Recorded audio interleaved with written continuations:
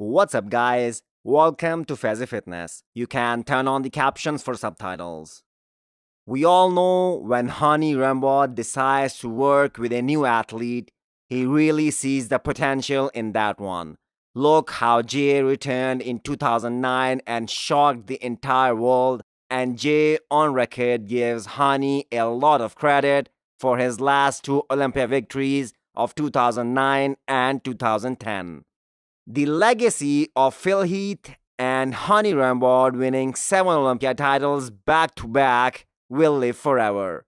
Jeremy Buendia was a dominant champ back in his prime, and now Andre is clearly becoming the next big thing and quite possibly future men's physique Olympia champ as well. One of the most exciting team up this year is Derek Lunsford and Hany. Six weeks out, Derek is already looking like a tank. And frankly, this guy could easily compete in the open with the amount of muscle mass that he carries. However, there isn't a doubt in Derek's mind that he will stay in 212 for a few years. He is keeping his current weight a secret, but it's evident that in future he might have to sacrifice some muscle to make weight. There will be no denying this physique if Derek brings a conditioning that matches Kamal and Sean, because structurally he is superior than both of these champions.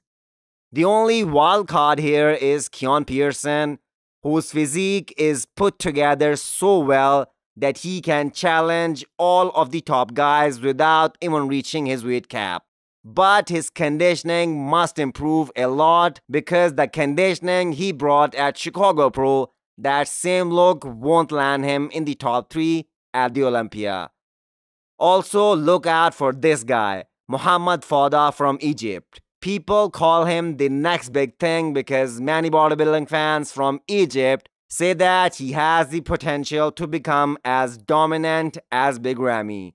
This guy is only 27 years old and he is as focused as ever. Now keep in mind, Foda hasn't competed after turning pro and Hany has been coaching him for the past 8 months. He is competing in 6 weeks and his pro debut will be interesting to watch. Sergio Oliva Jr. isn't liked by lots of bodybuilding fans because he never cares that his opinion might offend anyone. Well, Sergio is looking pretty damn good for a fact three weeks out of the Arnold Classic. This show will be a true decider of where he stands in the IFBB Pro ranks. In fact, this will be the first time we will see guys like Iain Nick Walker go against the likes of Akim Williams and the champ William Bonac. I know some of you guys will bring up the fact that Iain was there last year at the Olympia, but this year he took the game to a whole new level. Sergio has a lot to prove to himself. Somehow, this Arnold is turning out to be a one in which most competitors believe that the champ is 100% beatable. Sergio had some interesting predictions regarding the upcoming Olympia. I think Brandon's actually going to make some good improvements, and I think he might take first again. I think he might take that spot again. While everyone has a firm belief that Big Ramy looks literally unbeatable after seeing his progress pictures, Sergio predicted that the former Mr. Olympia champion Brandon Curry has more to offer with his physique, and he will reclaim the throne once again. With the rate of progression of his legs from the last two to three years, this same momentum will continue in 2021 and we are gonna see a much fuller version of Brandon Curry. Patrick's strategy for earning the Olympia 2021 qualification was the best because competition at Cali Pro wasn't so deep as compared to later shows during the year.